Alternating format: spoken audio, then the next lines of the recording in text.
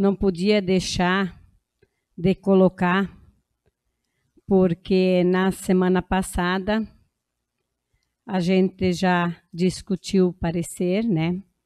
E, e eu comentei que havia ficado uma dívida né, em 2020. E o colega vereador Milton usou a tribuna e colocou que a vereadora Ilone estava falando em verdades. Só que eu não posso deixar assim, porque eu trouxe aqui o projeto que foi aprovado aqui pela Câmara de Vereadores por todos nós, por prefeito Nelbo, efetuar o pagamento de 402.400 no frigorífico. Autoriza o Poder Executivo Municipal a reconhecer, empenhar, liquidar e pagar despesas dos exercícios de 2019 e 2020. Então, eu quero deixar bem claro que isso não são inverdades. É ao menos, né, colocar a nossa população que teve essa pendência, né? Mas sou favorável, sim, às contas do prefeito Elton Tato, sim.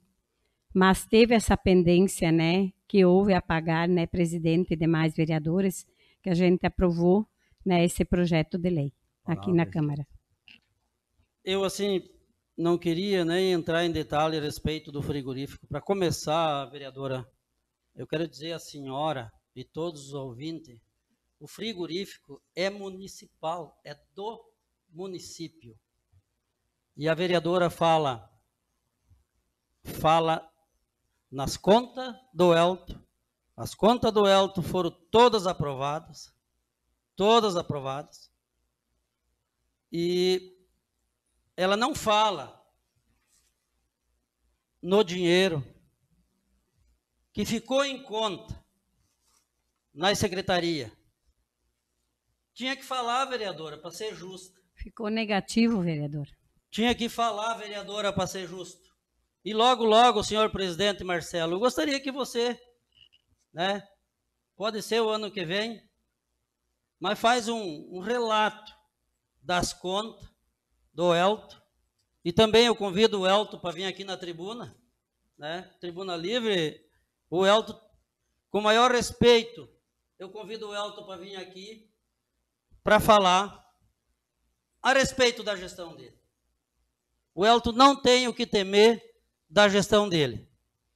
A vereadora, eu volto a falar, que ela tem problema, mas é problema pessoal contra o Elton Tato. Muitas vezes, ela foi beneficiada correndo nos pés do Elto Tato, como ela foi junto em Brasília lá, o Elto Tato levou o projeto, conseguiram um trator, e esse trator hoje, em vez de ajudar a agricultura, está beneficiando a vereadora. Inclusive fez campanha com esse trator também, campanha política. Vem aqui, vereadora, falar a verdade. Não vem aqui falar da gestão anterior, fala dessa gestão que a senhora ajudou pedir voto por Nelbo e o Peri, da forma que ela está hoje. A gestão do Elto, o município cresceu, que até o orçamento aumentou 13 milhões de reais. E olha o que, o que ficou na gestão do Elto.